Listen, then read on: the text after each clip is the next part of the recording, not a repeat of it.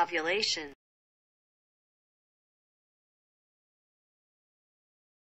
Ovulation is a part of your menstrual cycle. It occurs when an egg is released from your ovary. When the egg is released, it may or may not be fertilized by sperm.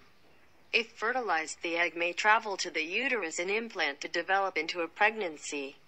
If left unfertilized, the egg disintegrates and the uterine lining is shed during your period.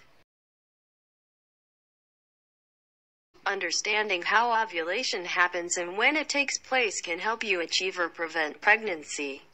It can also help you diagnose certain medical conditions. When does it happen? Ovulation typically happens around day 14 of a 28-day menstrual cycle. However, not everyone has a textbook 28-day cycle, so the exact timing can vary. In general, ovulation occurs in the four days before or four days after your cycle's midpoint. How long does it last? The process of ovulation begins with your body's release of follicle-stimulating hormone FSH, typically between days 6 and 14 of your menstrual cycle. This hormone helps the egg inside your ovary to mature in preparation to release the egg later. Once the egg is mature, your body releases a surge of luteinizing hormone LH triggering the egg's release.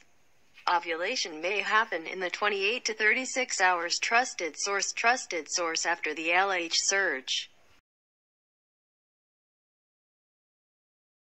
Does it cause any symptoms? Impending ovulation can cause an uptick in vaginal discharge. This discharge is often clear and stretchy. It may even resemble raw egg whites. After ovulation, your discharge may decrease in volume and appear thicker or cloudier. Ovulation may also cause light bleeding or spotting, breast tenderness, increased sexual drive, ovary pain characterized by discomfort or pain on one side of the abdomen, also called Mittelschmerz. Not everyone experiences symptoms with ovulation, so these signs are considered secondary in tracking your fertility. Please subscribe. Thank you.